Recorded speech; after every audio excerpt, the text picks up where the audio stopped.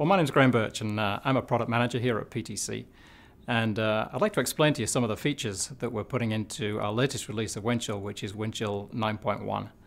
And in particular, what I'd like to focus on is some of the um, improvements that we're making to Windchill 9.1 as far as its ability to manage Pro Engineer data.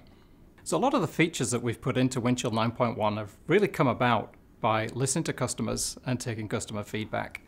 Um, and it also closes a lot of the functional gaps that we've had between uh, Windchill and ProIntraLink.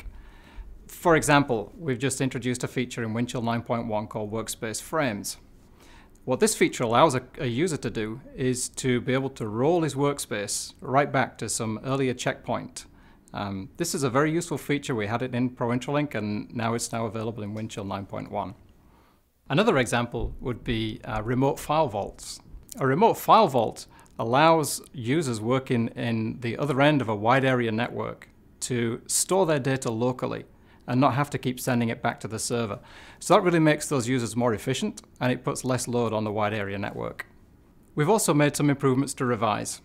Uh, so users can now revise during a checkout or they can create a new revision from uh, a non-latest revision. In addition to that, we added a, a new feature called a, a relationship report. Uh, this gives the user one page to go to where you can see all the dependencies from a ProEngineer model. So Windchill 9.1 includes a huge number of usability improvements. Uh, what users will see uh, most is the improvements to the way we're handling tables. We've managed to introduce some nice features which give tables the same kind of um, usability you would expect from a desktop application. So for example, uh, we allow users to now resize columns by simply clicking the column head and dragging it, making it a little wider.